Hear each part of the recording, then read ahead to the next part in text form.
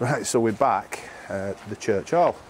Um, so the purpose of this really is a bit of a follow-up video to the last one that we did, which got a few comments, um, and I think we were going to do a follow-up anyway because I think it was it's a good idea to sort of show the conclusion to what we'd done uh, previously.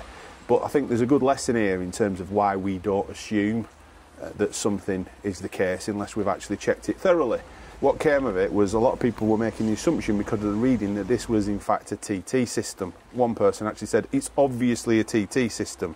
Now you didn't think it was, and the only way that you were going to sign off and say it was is if you could inspect it and look at it, because yep. in in our opinion, and this has been backed up, is that the only way you can actually check. Well, the only way to check it would be to dig all this tarmac up, go down there, and see if there was an earth electrode. And what's the problem um, with that? well, obviously the main intake position here, it's all tarmacked. It's uh, we don't know the condition or the age of the existing supply to the building. And clearly, you know, the cable that runs up the wall there gives the impression that it's a TT system, but we're never 100% sure. Um, and not only that, we're not sure who owns this particular arrangement, whether the church had it installed many, many years ago or whether the actual utility company installed that. So the first protocol was to go back to the utility company and say, could you mind uh, telling us who actually owns this earthing arrangement? Now, if they supply the earth... Just on that as well, there was no cost to the customer for us to no, check absolutely that. no cost for this check. It's completely free of charge. Yeah. So the utility company have come out.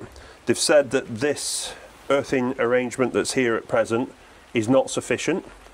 It's not adequate enough and what they've done is they've done some work inside and they've converted this installation to a TNCS or PME system that now gives us uh, a ZE of 0.13 and what they've done is they've recommended that we do a risk assessment for the rest of the property to determine whether a uh, an additional earth rod is, is recommended, um, which I will do and I will discuss with the customer.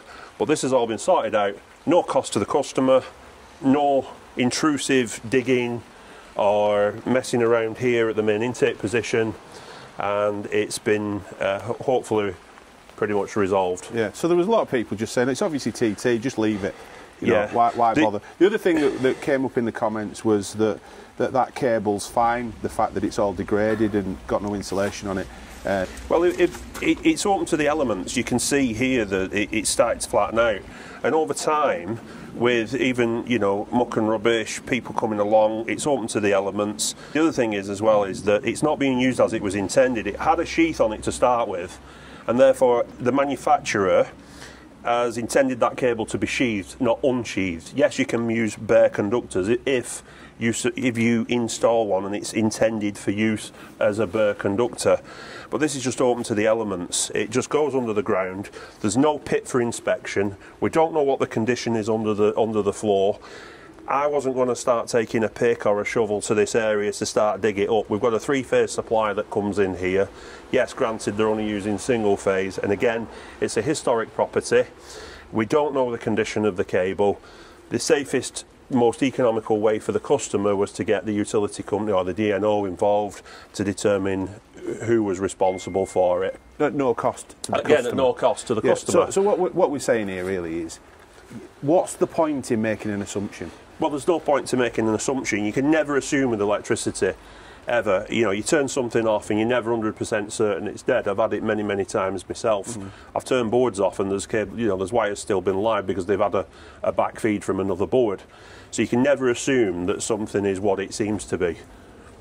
So in summary, if you get an installation similar to this and you come along, never ever assume that it's just, it is a TT system without actually checking, especially if you can't access where the, the end of it terminates in, it's in such a condition like this where it's, it's gone under the ground, it appears to be a TT. We can't assume. Just because something looks that way doesn't mean to say that it is. We don't know that, you know, um, the history of this, we don't know where it's uh, terminated under the ground, we don't know what condition it's in under the ground.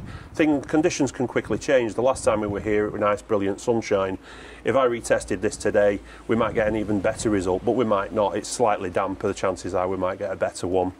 Yes, um, readings that are TT systems that are you know between 25 and 200 ohms are absolutely fantastic.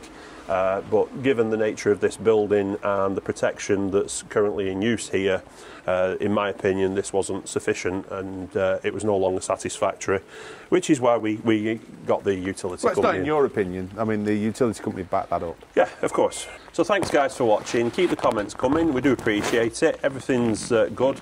It's interesting to see what people have to say about certain things, and we'll get some more videos out to you soon.